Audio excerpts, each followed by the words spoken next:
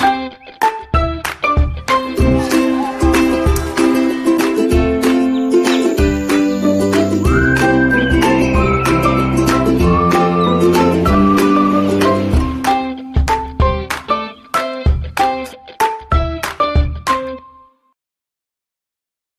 Парниковый эффект – незаметная для глаза, но опасная угроза. Выбросы в атмосферу не только отравляют воздух, но и создают плотную оболочку, что может повлечь за собой глобальное потепление. На Сахалине проводят эксперимент – как минимизировать количество незаметных газов. Здравствуйте, с вами программа «Среда обитания» и я, ее ведущая Анастасия Красова.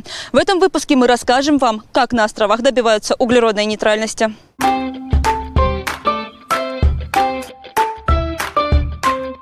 В Сахалинской области активно идет газификация. Котельные переходят с угольного на голубое топливо. На улицах появляется все больше электромобилей и машин на газе. Общественный транспорт тоже не отстает. Автобусы на экологичном топливе давно не новость для островитян. Региональное правительство делает все возможное, чтобы водители активнее выбирали автомобили на альтернативном топливе. Об этом рассказал Валерий Лимаренко в рамках Восточного экономического форума. У нас к концу года будет 500 заправок электрических то есть мы создаем сеть, и тут вот ведем на переговоры на, на, на, на форуме э, о том, чтобы здесь у нас э, появился каршеринг электрических машин, чтобы появилось, э, появилось такси электрическое. Во время проведения форума представители региональной власти подписали десятки соглашений по развитию области, в том числе касающихся экологии. Например, с одним из столичных вузов, в рамках которого на островах построят полигон по отработке водородных технологий.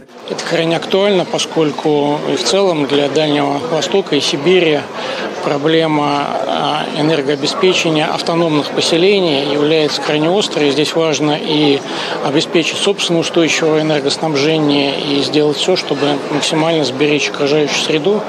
Здесь вопрос стоимости электроэнергии тоже очень важен. И именно поэтому нужно использовать э, технологии так называемой новой энергетики. Это не только а, водородные технологии для накопления энергии, это и такие технологии генерации, как а, ветровые технологии, солнце, геотермальные технологии. И всем этим сегодня занимается МФТИ. Мы под ключ поставляем системы, рассчитанные под конкретные населенные пункты, исходя из всех особенностей. Кроме этого, обсудили и вопросы добычи нефтегазовых ресурсов в России и их переработку. Эта тема актуальна и для островов.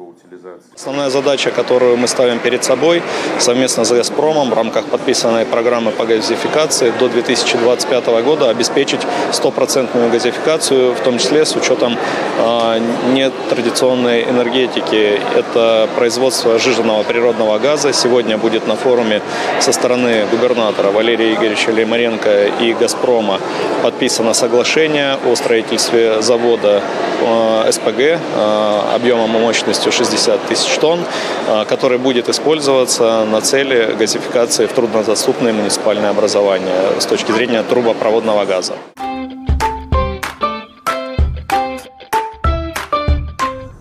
На Сахалине в прошлом году запустили эксперимент по снижению выбросов парниковых газов. В области активно внедряют электротранспорт, а также переводят на газ все котельные, работающие на дистопливе. До 2025 года планируют полностью завершить эту трансформацию. Первые газораспределительные станции уже готовы к запуску. Строительство одной из ГРС подходит к концу в Корсакове. После всех пусконаладочных работ голубое топливо поступит в котельную, которая работает в портовом городе блок контейнер связи. Это блок электроснабжения газораспределительной станции. Питание мы сюда уже получили с вашей помощью.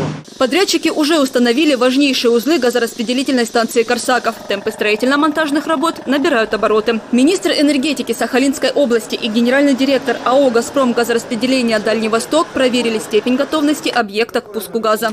Как только ГРЭС запускаем, весь район будет обеспечен газом. Но первый потребитель это для нас и для жителей города Корсакова, это, конечно, мини-тест, перевод, уход от этого черного угля, от завоза угля, от этих котельных уже сегодня доисторических перевод на свежее, экологическое, чистое топливо. Заявки на подключение газу своего жилья подали более тысячи горожан. Каждая семья может получить компенсацию в размере 152 тысячи рублей за монтаж внутридомового оборудования.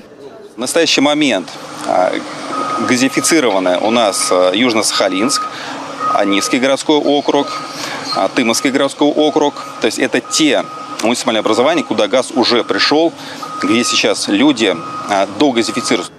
Ввод в эксплуатацию ГРС «Корсаков» и магистральных линий являются частью масштабного федерального проекта по газификации регионов. Тем временем в Южно-Сахалинске продолжается догазификация частных домовладений. Только за прошлую неделю голубое топливо подвели к 30 домам в планировочном районе Хомутова. В числе новых абонентов Людмила Митус, чей дом уже отапливает современный газовый котел. В процессе подключения домовладения хозяйка воспользовалась программой компенсации, возместив расходы на газификацию дома. Конечно, газ он облегчит отопительный сезон, потому что а, уголь на сегодняшний день стоит дорого. А, очень проблематично а, зимой протапливать дом. Доставка угля стоит денег, а газ экономично, тепло, в рамках газификации региона голубое топливо бесплатно провели уже более тысячи домохозяйств. Помимо этого, на разных этапах обрабатывается около трех тысяч договоров. В планах руководства региона обеспечивать 85% области за счет сетевого газа, оставшиеся будут получать сжиженный природный. СПГ, например, поможет закрыть потребности в экологически чистом топливе Курил и труднодоступных населенных пунктов Сахалина.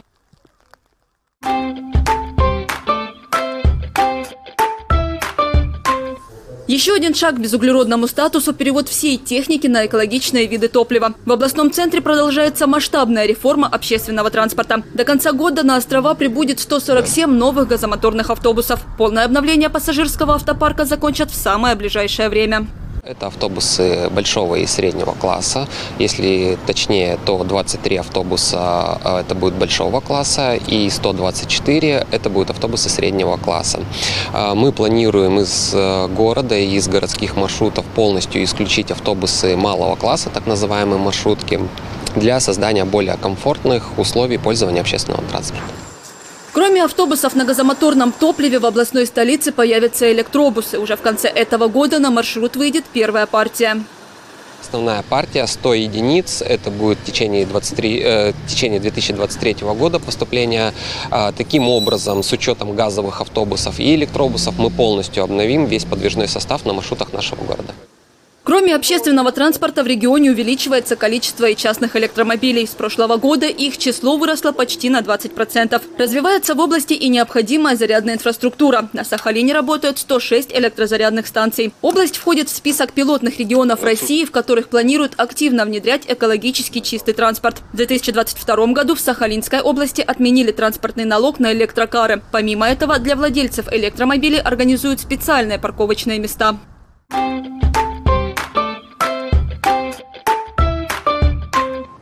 Еще одно решение проблемы с выбросом парниковых газов – открытие карбоновых полигонов. Подобные объекты – пилотный проект Министерства науки и высшего образования России. Его цель – создание в стране единой системы учета этих загрязнителей. Сахалинская область стала территорией эксперимента, который даст ответ, как справиться с глобальным вызовом. Он включает в себя большой комплекс исследований климатически активных газов на Земле и под землей, а также в воздухе. Первый островной полигон начал работать на побережье залива Анива. На следующем этапе планируют проводить исследования на острове Итуруп, где ученые займутся мониторингом природных систем в условиях глобальных изменений окружающей среды.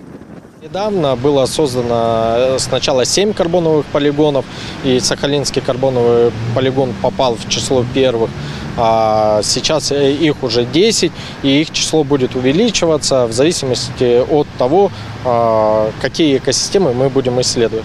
Но наш Сахалин и Курилы а это в первую очередь морские экосистемы. Поэтому наши карбоновые полигоны исследуют э, морские экосистемы, как э, морскими экосистемами и с помощью каких климатических проектов. А климатический проект – это такой проект, который направлен на то, чтобы э, сделать так, чтобы углерод захватить и максимально долго его сохранить, чтобы он обратно в атмосферу не вышел. А вот э, наш карбоновый полигон именно вот морской, и он э, располагается на берегу залива Анива. Экспериментальный объект станет важным звеном в процессе перехода к зеленой энергетике и формирования ее инфраструктуры. На карбоновом полигоне ученые будут наблюдать за тем, как океан поглощает парниковые газы и какую их долю способно поглотить Охотское море. Углеродный след будут искать в воде, на водорослях и раковинах моллюсков.